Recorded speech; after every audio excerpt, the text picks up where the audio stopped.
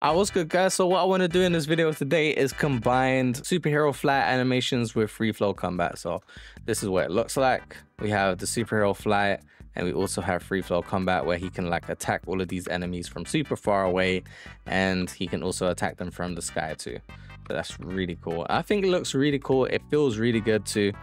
And yeah, so yeah, anyway, let's get started. If you don't have any of these projects, obviously I'll leave everything in the description. All right, so the first thing we're gonna do is find our characters. Actually, no, the first thing that we're gonna do is actually, uh, let's go to plugins. So settings, plugins, and search for motion warping. Motion warping right here. Enable this click on restart and then just restart the project. All right, now that we've restarted the project, what we can do is search for our characters. So if you go to the game mode, world settings, game mode, default pawn class, you can click on this button to browse to your character and you can use the UE4, UE5, it doesn't really matter. I'm going to use UE5 and we're also going to want to find the free flow combat character as well. So if you go to free flow combat, then go to uh, blueprints and then you want to go to example characters and open up the free flow combat character. All right, so in free flow combat, you're gonna see these components over here. You're just gonna grab all of them. You can hold control and click which ones you wanna select. Then control C to copy all of these components. So the hit, detection, motion warping, free flow combat, damage system, targeting system, combo counter, and dodge system. The only one you're missing out here is the character movement you don't need. And now let's go to our player underscore UE5. This is the superhero player. Just paste all of those components into there like that. And then you want to go to class settings and in implemented interface, you're going to add damageable, bi underscore damageable. And there's one more that you can add too, but I'm not going to be adding it in here. We, we've got the weapons, so bi weapons. This is so the character can pick up weapons and throw them and use them and stuff like that, but we but we don't need it. I'm not going to use it. Anyway, let's go back to the player now, the superhero player, and go to interfaces and go to take damage. So double click on this. And what we're going to do here is grab the damage system component and out of it, search for take damage. Connect it up like this. So everything connects up like that. There you go. Perfect compile, save. And now let's go to the event graph. Actually, let's create a new event graph and we're gonna name this uh, free flow combat FFC. And let's go to the free flow combat character. We can grab all of this stuff over here, the camera input, movement, and begin play. Move that out of the way. And just grab everything else, copy, and paste it into this graph, this the free flow combat graph that we just created. And as I said, I'm not going to be using any of the weapons, so I'm going to delete them. If you want to use them, you can use them. You just need to watch a video on how to actually implement the weapons. Uh, the creator of Free Flow Combat Game Formation has made a video on it, so you guys can go and watch that if you like. All right, cool. So that's everything. I think that's done. Everything here looks good. We have the hit reactions, deal damage, attack inputs, counters, finishes, ground takedowns, and yeah, that's all cool.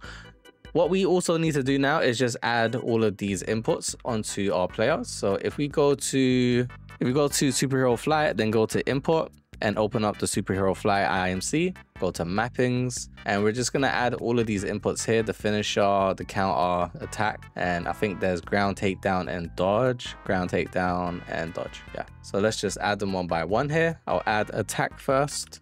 Attack, my attack is gonna be the left mouse, and then I'll add counter. Counter is going to be my right mouse, and then we have finishers. I want my finisher to be on Q. We have ground takedown, I'll put that on E. And we also have the dodge. We have two dodges here. One dodge is from the superhero flight because you can dodge in the sky. And we also have the free flow combat. So just make sure you're picking the right one when you're choosing. I'll choose this one here and I'll make that F. So that should all be done now. The next few steps that we need to do here is let's go to superhero flight and search for enemy. Sorry, let's go to free flow combat and search for enemy and then grab the BP enemy base and just put a couple of them in here. And we also need to search for melee. So search for melee and grab the melee combat manager, put that in there too. And now let's go over here to quickly add the project, go to volume and add a nav mesh bounds volume in here and just make this big. So this is where the enemy is going to be able to run around in. So just make this pretty big like this. And now with all of that, we should be able to have, oh no, there's one more thing we need to do as well. Let's go to our world settings, go to game mode and change the game state class to free flow combat. This is important to do, very important to do. If you don't do this, the players, when you, uh, the enemies, when you hit the enemies, they just won't get back up. So if we now try to attack these guys, you're gonna see it is working, but I don't like how it, like what I wanna do is I'm a superhero. I should be able to attack him from all the way over here and we do take damage as well. That's cool. So what we're gonna do is change that. So basically if I'm over here, I want to be able to attack this guy from all the way over here. So let's change that real quick. The way that we're to do that, we can get rid of this now. The way we're to do that is if we go to our player, our superhero player, and go to attack input, you're to see this get target here. In radius, we're to change this to 25,000 and let's copy this. And we're going to go back to our content browser go to free flow combat we're going to go to blueprints go to data assets strikes, unarmed, long range, controller. And we need to basically open up all of these folders here, the back, front, left, right. I'm just going to do one of them. So I'll go to front and we're going to open up these data assets basically. Let's start with one. And if we go to track array, we don't need to do anything in index zero because this is our player. If I quickly open this up, you're going to see this is our player. This is all of the settings for the player. We don't need to do anything there. We need to go to index one. This is all of the settings for the enemy. And what we need to do is change this max distance to master, which is basically max distance to player. And we need to change this to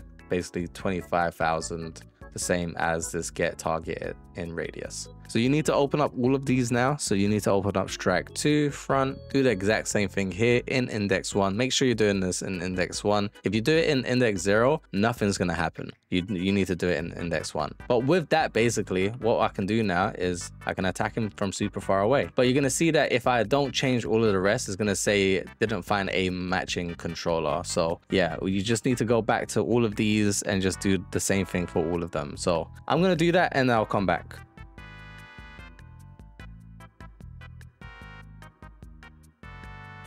Okay, so I've just done that. I've just updated all of these now to 25,000. Hopefully in the future, we can get an update where this is actually a little bit easier to do because it's not, it's, it's not that it's hard. It's just a bit tedious. That's all. But now we should be able to attack them at any angle and we shouldn't get that didn't find a matching control or anything like that we should be able to fly around and still attack them from super far away too and yeah Anyway, that's pretty much it. I do think this is super cool. You can use this for like a superhero game, um, Superman, Invincibles, something like that. But yeah, anyway, that's going to be it. Hope you liked the video and I'll see you guys in the next one.